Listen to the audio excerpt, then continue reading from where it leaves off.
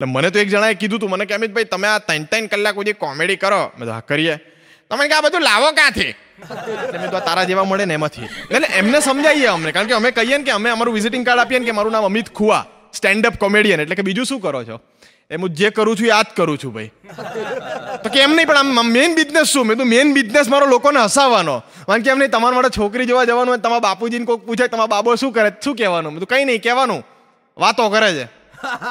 બીજું કરીએ શું? અમારો બિઝનેસ જ વાતો કરવાનો. પણ અમને એકમાત્ર પ્રશ્ન વારંવાર પૂછવામાં આવતો હોય છે કે, અમિતભાઈ, તમે આટલા બધા જોક્સ કરો છો, તમે કોમેડિયન આટલું બધું કોમેડી કરો છો આ બધું લાવો છો ક્યાંથી? એટલે આવા જે લોકો સવાલ કરે ને, એને અમે બહુ પ્રેમથી, બહુ આદરથી એને જવાબ આપતા હોઈએ કે, ભાઈ, આમાં કેવું છે? ખબર છે? અમારા ઘરમાં પચીસ ત્રીસ કરોડનું કોઈ મશીન નથી લાગેલું. કે એની અંદરથી આમ કાચો માલ ઉપરથી નાખ્યો એટલે નીચેથી માલ બનીને તૈયાર આવે. મેં એવું નથી હોતું.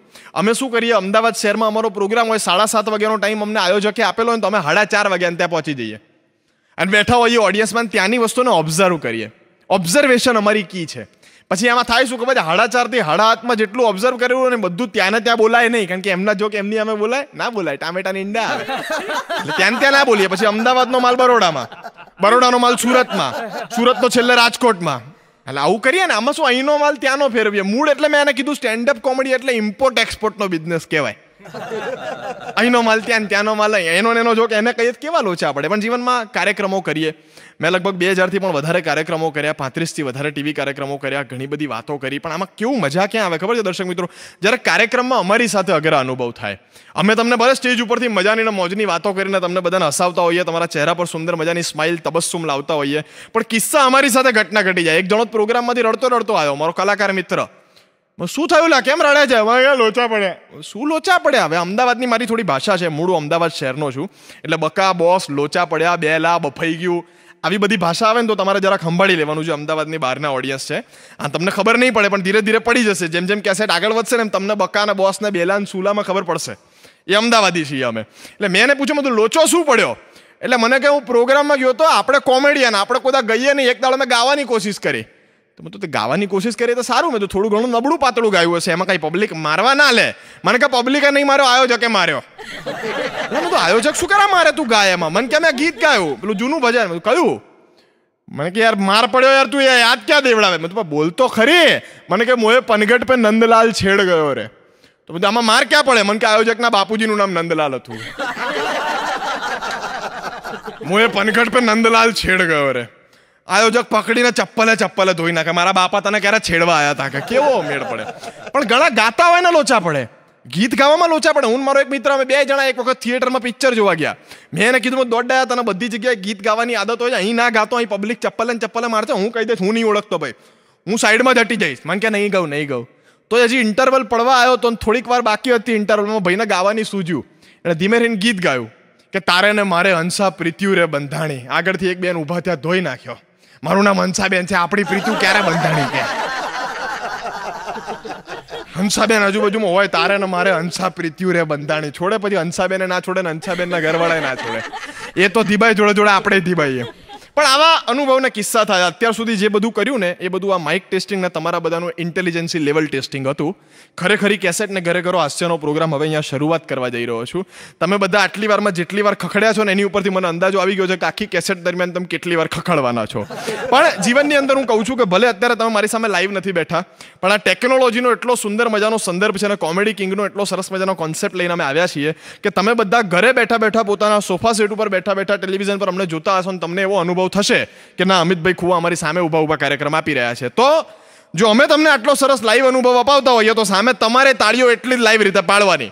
બાજુમાં ગમે તે હોય આમ કે આમ તાળી પાડી જ દેવાની. જલસા કરી લેવાના જીવનમાં. તાળી પાડશો તો અહીંયા સુધી પહોંચી જશે. અમે અહીંયા અત્યારે રાજકોટમાં શૂટિંગ કરી રહ્યા છે ને અમારું સુધી તમારી તાળી ત્રણ વર્ષ પછી તમે કેસેટ જોશો ને તોય પહોંચશે. કારણ કે હૃદયથી હૃદયના સંબંધ છે એમ. પણ હું મારી ઓળખાણ આપું. મારું નામ અમિત ખુવા, જે રીતે મેં તમને જણાવ્યું. મારું શહેર અમદાવાદ શહેર. જો કે અમદાવાદી અમે બહુ પ્રખ્યાત. અમે ક્યાંક રાજકોટમાં બરોડામાં સુરતમાં મુંબઈમાં બોલ બેંગ્લોરમાં જઈને કીધું ને કે હું અમદાવાદનો એટલે પેલો ઉપરથી નીચે ત્રણ વાર અમને જોવે. એની જાતે અનુમાન લગાવી લે કે આ કેવી આઈટમ હશે. પણ એવું નથી યાર અમદાવાદના બધા લોકો મેં કીધું સારા હોય યાર કંઈ એવું કે તમે નક્કી ના કરી લો એમ.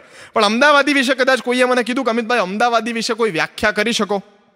આમ તો આપણા ગુજરાત વિશે વ્યાખ્યા થાય. પણ મેં એને કીધું કે પર્ટિક્યુલર અમદાવાદ શહેરના વિશે હું તને તો કોઈ વ્યાખ્યા કહું, તો ગાંધીવાદી, મૂડીવાદી, ખાદીવાદી, માર્ક્સવાદી, અંતિમવાદી, સુધારાવાદી, ઉગ્રવાદી, આતંકવાદી અને ત્રાસવાદી આ બધાને એક જ સેકન્ડમાં ઉલ્લુ બનાવે એનું નામ. જો અમદાવાદી. બરોડાવાળા રાજકોટવાળા બોલે હો, કે અમદાવાદી. આ હા તમે ઓળખી ગયા છો. પણ અમદાવાદી ખરેખર સાહેબ એટલી અદ્ભુત પ્રકારની પબ્લિક અમારે ત્યાં રહે છે, એટલા અદ્ભુત પ્રકારના લોકો અમારે ત્યાં વસે છે, કે અમદાવાદ શહેરમાં કોઈ નામ ના લે સાહેબ. હો, તમે જુઓ, રિક્ષાવાળા અમારા અમદાવાદના આ હા હા અમદાવાદના એક ખૂણેથી અમદાવાદના બીજા ખૂણે સાહેબ તમને એકાવન કિલોમીટર સાત રૂપિયામાં ફેરવે શટલમાં અને ભાઈડો હાથથી સાઈડ ના બતાવે ટાંટીઓ ઉલાડીને સાઈડ બતાવે, હો, સાહેબ. તમે જુઓ તો કેવી મજા આવે. આગળ ડ્રાઈવરની સીટ ઉપર છ જણા બેઠા હોય, આપણે ત્રીસ સેકન્ડ સુધી યાર માથું ખંજવાડે, આમાં ડ્રાઈવર કોણ છે ત્રીસ સેકન્ડ સુધી ખબર ના પડે કે છ માંથી ગાડી કોણ ચલાવે છે. આવા અમદાવાદની પબ્લિક અમદાવાદ. હજી એક નાનકડી વ્યાખ્યા આપું અમદાવાદીની. તો ચાર ગણેથી મેળવણ માંગે. આજુબાજુના ચાર પડોશમાંથી મેળવણ માંગી આવે. થોડી છાસ આપો ને મેળવણ બનાવે છે. એમ કરીને ચાર ઘરેથી આવડું આવડું મેળવણ લાવે. છેલ્લે ઘેર લઈને ભેગું કરીને કઢી બનાવીને ખાય.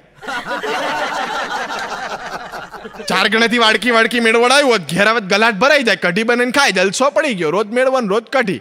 ખીચડી પોતાની કઢી ગામની. ચણાનો લોટની કઢી બનાવે, એનું નામ અમદાવાદી એમ. આવો મજાનો માણસ સાહેબ પણ અમદાવાદી વિશે અને ગુજરાતી વિશે જો કે અમદાવાદી વિશે ઘણું બધું કહેવાયું છે, પણ અમદાવાદ ખરેખર સારામાં સારું શહેર છે, એકાદ વખત આવો. હું તો જેટલા દર્શક મિત્રો અત્યારે કેસેટ જોઈ રહ્યા છે, બધાને ખુલ્લે ખુલ્લું પ્રેમથી ને હૃદયથી ઇન્વિટેશન આપું છું કે અમદાવાદ એક વખત ચોક્કસ પધારો. તમારા ખર્ચે. તો આની તો તમે જો દસ લાખ કોપી વેચાશે કે દસ લાખ કોપીનો ખર્ચો હું દઉં તો અહીંયા ગુજરી જાઉં, ખબર છે? બાપુજીના માથે તાલ પડે. એના કરતા આવવાનું તમારા ખર્ચે પછી. તો એવું ભાઈ, ઘેર આવો, વાંધો નહીં, ચા પીવડાવીશું, અડધીમાંથી અડધીમાંથી અડધીમાંથી, અડધી. એટલે અમે અડધીના છ ભાગ કરીએ, તમને નહીં ખબર હોય કદાચ. કોક દાડો આવજો અમદાવાદમાં, અડધી ચામાંથી આમ બે ભાગ કરે, ત્યાં તો ત્રીજો કોક ચા પીશ? હા ભઈલા ત્રણ કરજે. થોડી વાર ચોથો ચા ચા પહેલા ચાર ચાર કરજે. પેલો કે આવડી પવાલીમાંથી ચાર ટુકડા. કયું મશીન રાખું માપવાનું છેલ્લે પછી એમ થાય કે પૈસા આપવાના છે, એટલે પછી આમ ખિસ્સામાં હાથ નાખે. ઊભા હું આપું. તમે ના હાલતા. ત્યાં સુધી ખિસ્સામાંથી હાથ બહાર ના કાઢે જ્યાં સુધી પેલો આપી ના દે. છેલ્લે પાછો કેક ના તમે આપવાના હતા તમે ના આપ્યા તો હું આપી જ દેવાનો હતો યાર. ભઈડા તે કોઈ દિવસ આપ્યા છે પૈસા તું આજે આપવાનો.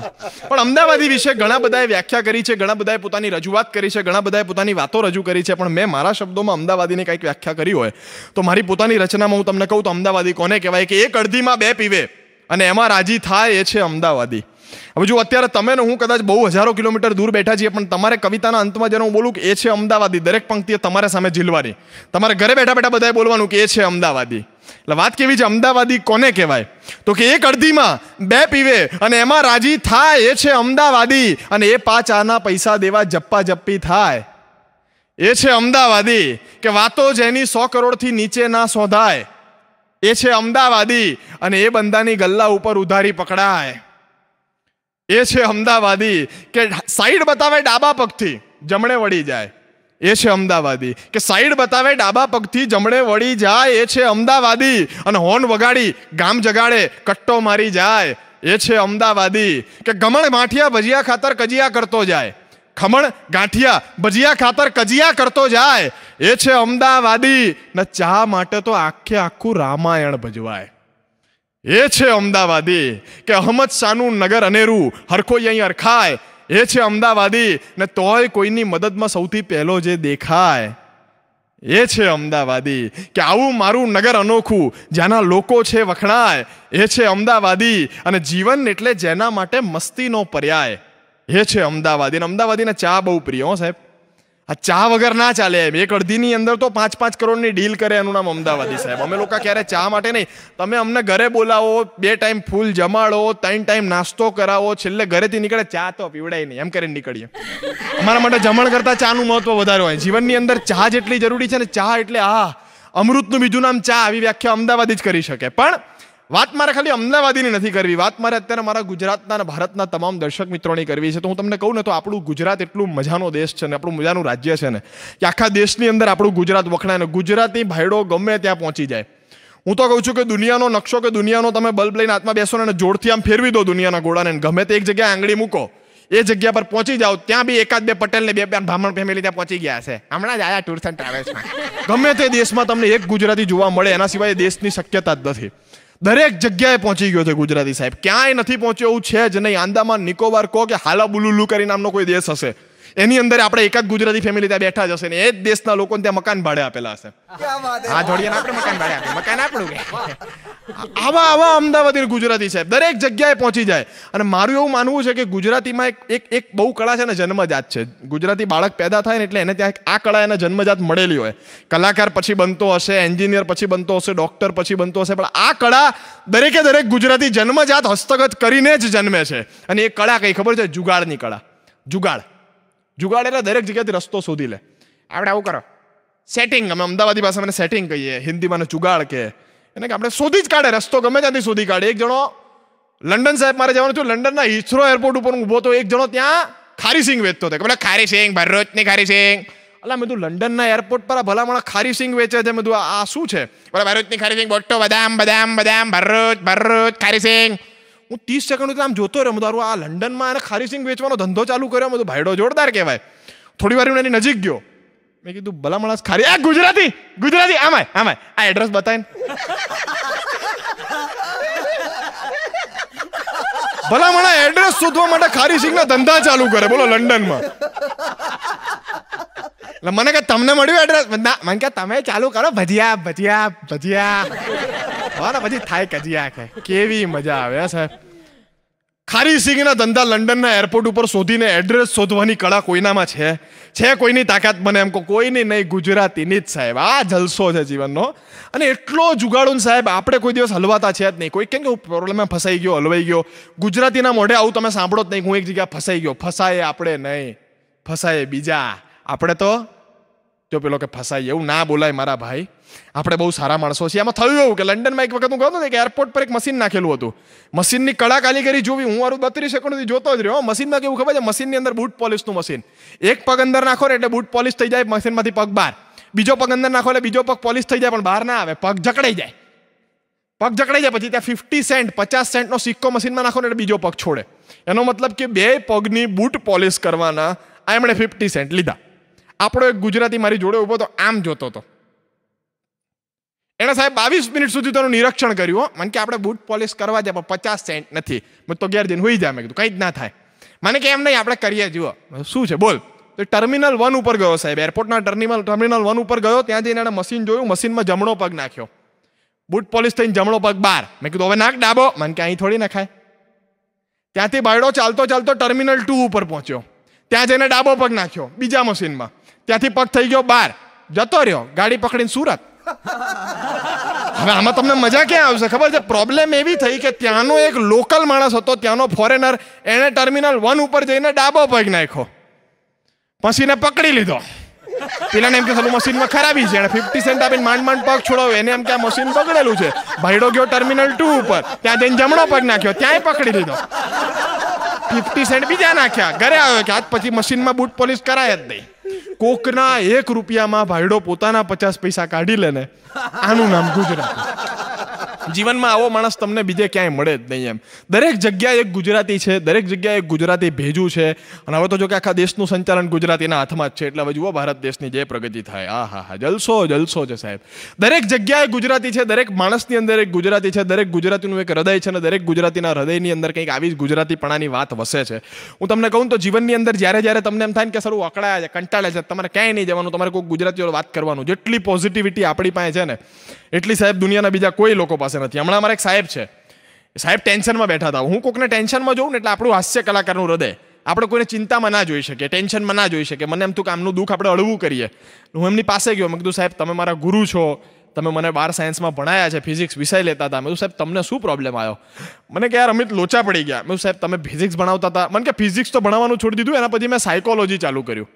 એટલે મેં શું વાત કરો છો? સાયકોલોજી ચાલુ કર્યું. મને કે, હા, મેં તો સાયકોલોજી કેમનું છે? સાહેબ મને કે, એમ નહીં, એ તો ભણાવવાનું મૂકી દીધું, પછી આપણે લોજિકલ વિજ્ઞાન ચાલુ કર્યું. હું, સાહેબ, તમે એક ધંધા પકડી રાખો મને કે એમને વિષયો બદલાય ને. હું, સાહેબ ફાઇનલી અત્યારે શું ભણાવો છો? મને કે લોજિકલ સાયન્સ બધું એટલે, મને કે, તર્ક વિજ્ઞાન. બધું પરફેક્ટ તર્ક વિજ્ઞાન એટલે મેં દરેક વસ્તુમાં તર્ક શોધો ને તમે આમ બી તમને ફિઝિક્સ અને સાયકોલોજીનું જ્ઞાન બી છે. એટલે તર્ક તમે બહુ પ્રોપર શોધી શકો દરેક વસ્તુમાં. મને કે, હા. મેં એક કામ કરો, તમે અત્યારે અકળાયેલા કેમ છો? એનું સોલ્યુશન આપું. મને કે, આમાં એવું છે ને આજે સવારે એક છોકરો આવ્યો હતો બાર સાયન્સનો મારી પાસે. મેં તું બરાબર, શું કહેતો હતો સાહેબ? એટલે કે એણે મારી સામે એક શરત મૂકી કે, સાહેબ, તમે આ આ તમે મને બત્રીસ ટકા આપ્યા છે એક્ઝામમાં હું પાસ બી નથી થયો અને કમસે કમ પાંત્રી તો કરી આપો. એટલે સાહેબ કે, ના, પણ તારે બત્રીસને લાયક છે, એટલે બત્રીસ આપ્યા છે, અને પાંત્રી ન કરી આપો. એટલે સાહેબને પેલા છોકરાએ કીધું સાહેબ, એક શરત મૂકું, જુઓ, તમે શેના સાહેબ? તો કે, અત્યારે તર્ક વિજ્ઞાનનો. તો તમે તર્ક વિજ્ઞાનના સાહેબ છો ને તમને હું ત્રણ સવાલ પૂછું. તર્ક વિજ્ઞાનને લગતા જ. ધારો કે તમે ત્રણ સવાલના જવાબ આપી શક્યા, સાચા ખોટા ભગવાન જાણે, ખાલી જવાબ આપી શક્યા ને તો હું અહીંયાથી ચૂપચાપ જતો રહીશ. ને ધારો કે તમે જવાબ ન આપી શક્યા, તો તમારે મને અહીંયા પાંતરી કરી આપવાના. સાહેબ કે સવાલ શેના તો કે તર્ક વિજ્ઞાનના આપણી ચોપડીના જ કે. સાહેબ કે હું તારો ટીચર છું, હું તારો શિક્ષક છું, મને ચોપડીના જવાબ ન આવડે એવું બને. તું એક કામ કર, પૂછ. અને પાંત્રી માર્કને ગોલી માર, તને પંચોતેર આપ્યા જા જવાબ ના આવડ્યા તો.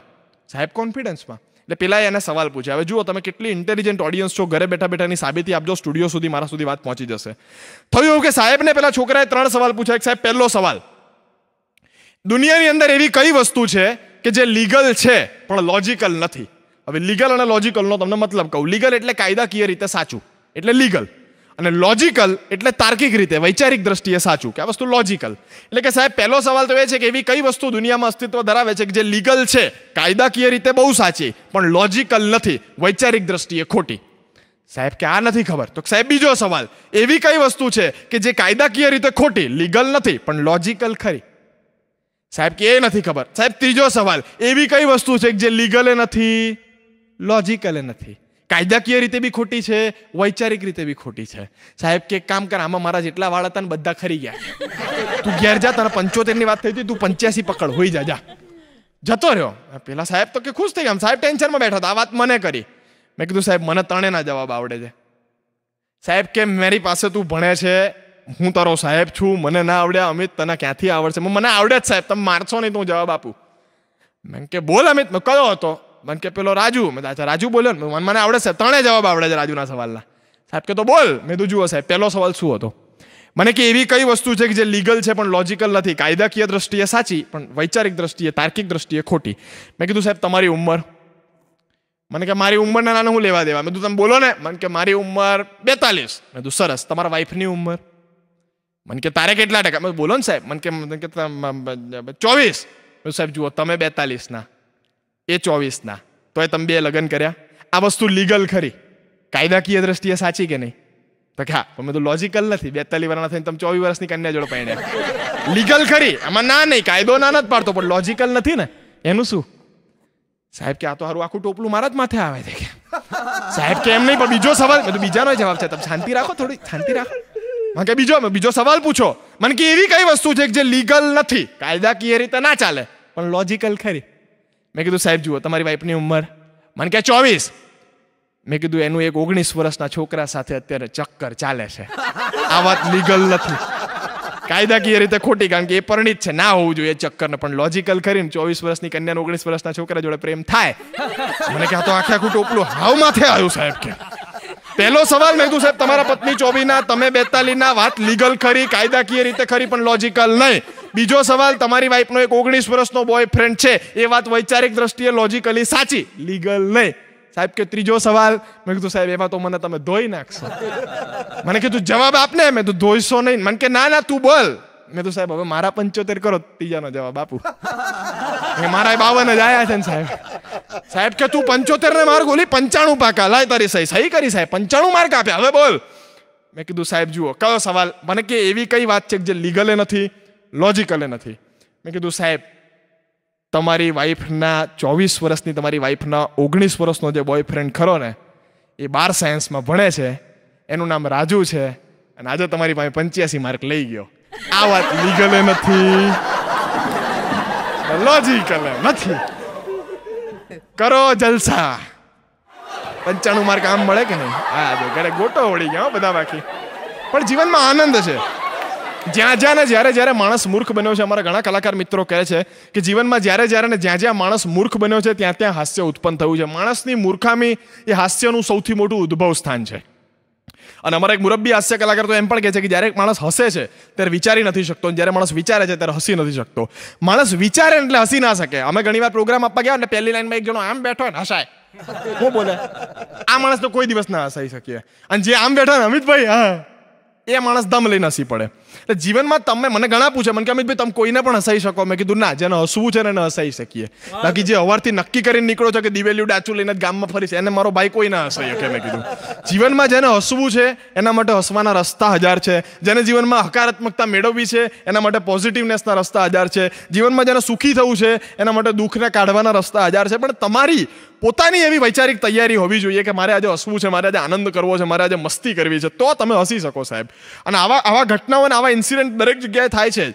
તમને મને આવા અનુભવો થાય છે. વાતમાં એટલો ફરક છે, તમારી સાથે આવી ઘટનાઓ થાય ને તો તમે ભૂલી જાઓ. બે જણાને કહો, ચાર જણાને કહો, ઘરે આવીને કહો, મિત્રોને કહો વાત ભૂલી જાઓ. જ્યારે અમે શું કરીએ એ વસ્તુને યાદ રાખીએ, એમાં થોડો હ્યુમરનો તડકો આપીએ અને પછી તમારી સમક્ષ આ રીતે રજૂ કરીએ. પણ આજની આ રજૂઆતને આગળ વધારું તો મજા આવે. હું વાત કરતો તો અમદાવાદીની, ગુજરાતીની, કે જે ક્યાંય પાછો પડ્યો જ નથી. હમણાં એક મારો ભાઈબંધ છે. મેં કીધું ને કે જ્યારે જ્યારે માણસ મૂર્ખ બન્યો છે, ત્યારે ત્યારે હાસ્યનું ઉદ્ભવ સ્થાન આવ્યું છે. એક માણસ મને મારો મિત્ર છે. મને કે, અમિતભાઈ આપણે આખા ગામને ભેગું કરો. આખા અમદાવાદ શહેરને ભેગું કરો. તો થયું શું પણ? મને કે, અમદાવાદ શહેરને ભેગું કરો. આપણે બધા દિલ્હી જઈએ. દિલ્હી? દિલ્હી શું કરવા જવું છે મારા ભાઈ? મને કે, લાલ કિલ્લો છે ને. મેં તો હા. આખે આખો ઉપાડીને ખભે લઈને અમદાવાદ લઈ આવીએ. મેં કીધું, ભલા માણસ તું શું બોલે છે? મેં કીધું. મને કે એમને લાલ કિલ્લો હું મારા માથા પર આમ આમ માથે લઈને આવીશ. મને કે તમે બતાવો કે મીડિયા બોલાવો. મેં કીધું, ભાઈ, ના હોય, લાલ કિલ્લાનું વજન ખબર છે. મને કે, તમે ખાલી નોંધ કરાવડાવો. મને કે, ના, ઉપાડું તો કહેજો, મૂછો કાઢ નાખીએ. તારો આટલો બધો કોન્ફિડન્સ હોય તો મેં ગિનિસ બુક વર્લ્ડ રેકોર્ડ વાળા નહીં બોલાવીએ તું તાર ચિંતા મૂકી દે. આખા અમદાવાદ શહેરમાં ઢીંઢેરો પીટ્યો, મીડિયાવાળા મિત્રોને બોલાવી દીધા ગિનિસ બુક ને લિમકા બુક ને બધાને બોલાવી દીધા. આપણે જવું છે હવે. કે આ ભાઈ, લાલ કિલ્લો ઉપાડવાના છે. તમે નહીં માનો સાહેબ, દિલ્હી લાલ કિલ્લાની સામે અમે લોકોએ મેં પાંચ હજાર માણસનું ક્રાઉડ ભેગું કરી નાખ્યું. અને પેલો ભાઈડો પછી આમ કુસ્તી કરતો હતો. બધાને એમ હતું કે લાલ કિલ્લો ઉપાડશે ને મને એમ હતું કે આજે લોચો માર્યો. આજે આપણી ઇજ્જત ગઈ મેં કીધું. એટલે ભૈયા આમ કરીને આમ કર્યું, શર્ટ બર્ટ કાઢ્યો, થોડીક પહેલવાની કરી, પછી આમ લાલ કિલ્લાની આમ આમ ઊભો રહ્યો. પછી આમ પાછો આમ હટી ગયો. મેં શું થયું? મને કે સારું ઉખડતો નથી. મને કે, કોક એક કામ કરો ને, કોક ઉપાડીને મને ખભે મૂકી આપો, પછી લઈ જઈએ પછી ના, નહીં આપણી આટલા બધા ભેગા થઈને ઉપાડીને ખભે તો મૂકો, પછી લઈ જવાની જવાબદારી મારી કે? તું સુઈ જા. તારા જેવાનું કાંઈ ન થાય. તું એક કામ કર, મેં કીધું. મને કે બોલો, મેં તો એક જ્યોતિષ પાસે જા, સારો ટાઈમ કઢાય, સારું મુહૂર્ત કઢાય, સરસ મજાનો એક સમય જોઈ અને ગુજરી જા. તારું કાંઈ જ ના થાય. તારા જેવા, મેં કીધું, પચાસ જણા માર્કેટમાં લોકોને નડતા હોય છે. તારું કાંઈ થવાનું નથી જીવનમાં. પણ આવા લોકો છે ને, તો સાહેબ, હાસ્યનું અસ્તિત્વ છે. જ્યારે જ્યારે માણસ આવો મૂર્ખ બન્યો છે ને, ત્યારે ત્યારે અમારા જેવા લોકોને મજા મળી છે. અને અમારા લોકોને મજા મળી છે, તો તમારા સુધી એ મજાને, આનંદને, મસ્તીને અમે પહોંચાડી શક્યા છીએ. પણ અમદાવાદી ગુજરાતીને આપણો ભારતીય ક્યાંય ના પહોંચ્યો અને ત્યાં ગુજરાતી પહોંચી જાય.